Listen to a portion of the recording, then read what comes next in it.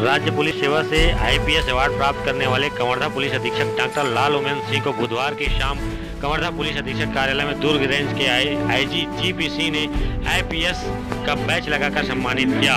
इस मौके पर ज़िले के पूरा पुलिस महकमा मौजूद भी रहे। कंवर्धा ज़िले के पुलिस परिवार में बनाए गए पूर्व परंपरा के अनुसार इस मौके पर पुलिस अधीक्षक डॉक्टर लाल उमेन सिंह को एक तरफ़ पुलिस अफसर आईजी जीपी सिंह ने और दूसरी तरफ़ पुलिस अधीक्षक की पत्नी श्रीमती भावना सिंह द्वारा आईपीएस बैच लगाकर सम्मानित किया गया।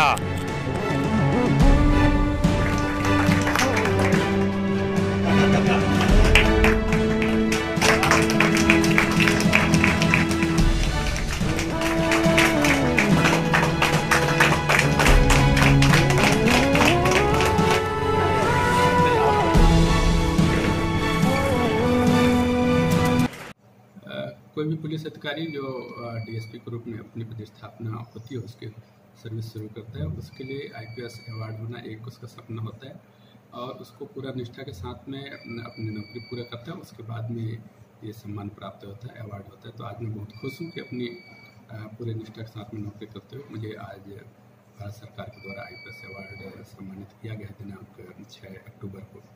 आज हमारे दुर्गगंज के आईजी साहब Shri G P Singh sir और मेरी पत्नी श्रीमती भावना सिंह के द्वारा आईपीएस का जो पेज होता है सोलर पेज वो लगाया गया।